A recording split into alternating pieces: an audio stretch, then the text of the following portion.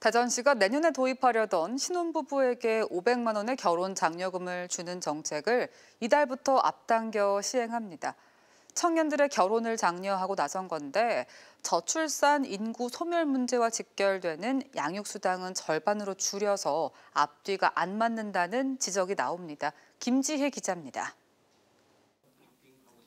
대전시가 청년들의 결혼을 권장하기 위해 신혼부부에게 500만 원을 지급하는 정책을 조기 시행합니다.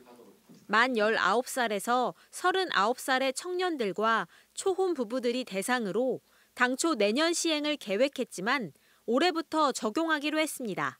금년 1월 1일부터 행정 절차가 완료되는 시기 사이에 결혼한 부부들에 대해서는 별도의 신청 기한을 두어 소급해서 결혼 장려금을 지급할 계획입니다. 두 살 영아를 대상으로 한 대전형 부모 급여도 신설합니다.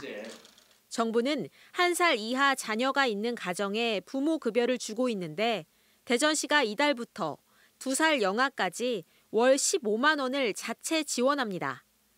다만 태어나 두 살까지 아이가 있는 가정에 월 30만 원씩 지급하던 대전 양육수당은 올해부터 월 15만 원으로 절반 삭감했습니다.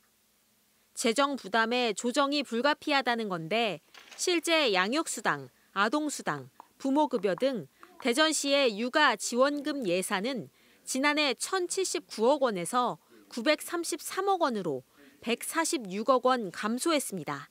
세수 감축을 고려하면서 그 양육비 경감을 위한 여러 가지 유사한 부모급여, 그 아동수당, 어, 양육 기본수당 이 세 가지를 종합적으로 고려해서 저희들이 이번에 그 금액도 조정을 하고 파격적인 혜택을 앞세워 청년들의 결혼은 장려하면서 정작 저출산이나 인구 소멸과 직결되는 육아 지원금을 줄이는 것은 모순이라는 지적이 나옵니다.